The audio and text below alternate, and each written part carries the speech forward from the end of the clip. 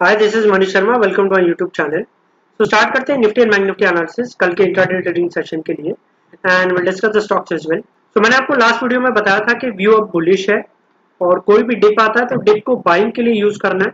और आप देख सकते हो यहाँ पे अभी भी इसने कोई डिप कोई ज़्यादा इंट्राडे डिप दिया नहीं है। 9400 के आसपास एक डिप दिया था बट वापस इसने ऊपर ही क्लोजिंग किया सिंपल एक ट्रेंड लाइन ब्रेकआउट है निफ्टी में। और मुझे लगता है यहाँ से ये रेजिस्टेंस तो डेफिनेटली क्रॉस करने के चांसेस काफ़ी ज़्यादा है। आ, ये कैंडल का है 9584 सो अप्रोक्सीमेटली टारगेट होंगे 9600 तक के। So buy and dip strategy use करना है। व्यू अभी भी बुलिश है निफ्टी में for a target of 9600 bank Nifty मैंने आपको बताया था चैनल में ट्रेड करा था डाउनवर्ड चैनल और डाउनवर्ड चैनल इसने ब्रेक किया हुआ है। डाउनवर्ड चैनल इसने ब्रेक किया था और उसे एक फ्रेश ब्रेकआउट दिया था। अभी भी इसमें व्यू बुलिश है। आप मेरा लास्ट वीडियो देख सकते हो अगर आपने वीडियो मेरे देखे नहीं है। तो आप मेरा लास्ट वीडियो देख सकते हो उसमें मैंने क्लियरली बताया व्यू बुलिश है। और टारगेट अभी भी 20,000 के आसपास तक के बाइंड स्ट्रैटेजी अपनानी चाहिए। 18,500 18,700 के आसपास कोई भी डिप मिलता है तो काफ़ी अच्छा बाई रहेगा। For a target of 19,500 and 20,000 अब डिस्कस करते हैं स्टॉक्स uh, मैंने आपको लास्ट वीडियो में चार स्टॉक दिए थे। टाटा स्टील मैंने बाय दिया था 289 के ऊपर। इसमें काफ़ी अच्छा इंट्राडे प्रॉफिट बना। मुथूट फाइनेंस मैंने आपको बाय दिया था। इसमें भी एक स्मॉल प्रॉफिट बना इंट्राडे में। पीएफसी मैंने बाय दिया था 77 के ऊपर, ये भी 78 तक जाके आया, इसमें भी एक स्मॉल प्रॉफिट बना। सन फार्मा मैंने सेल दिया था 443 के नीचे और ये सेल ट्रिगर ही नहीं हुआ तो इसमें कोई पोजिशन नहीं था। अब डिस्कस करते हैं, कल के दिन में कौन से स्टॉक्स पे ज़्यादा फोकस करना है।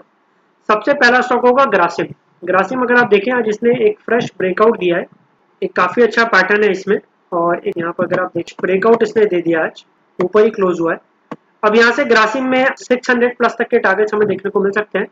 तो यहाँ से करीबन 20-25 रुपए का अपसाइड मूवमेंट हमें देखने को मिल सकता है। तो ग्रासिम काफ़ी अच्छा बाय रहेगा। कौन से लेवल पे बाय करना मैं आपको टेलीग्राम चैनल में बता दूँगा।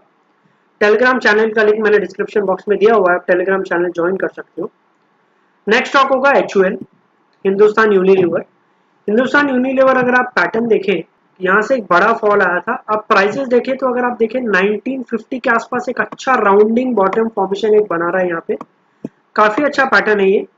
एंड एक बॉटम फॉर्मेशन बना रहा है यहाँ पे।